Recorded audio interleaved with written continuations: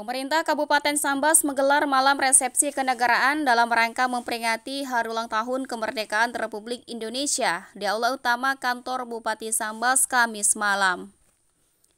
Pada agenda tersebut disampaikan pesan kemerdekaan dari Dandim 1208 Sambas, Letkol Zeni Priyo Hindrarto, Kapolres Sambas AKBP Sugiatmo, Kepala Kejari Sambas Agita Trimur Cahyanto, dan dilanjutkan Arahan dari Bupati Sambas Satono. Satono mengajak semua unsur untuk bersama-sama berkontribusi dan bersinergi serta terus melaju untuk membangun Sambas yang berkemajuan.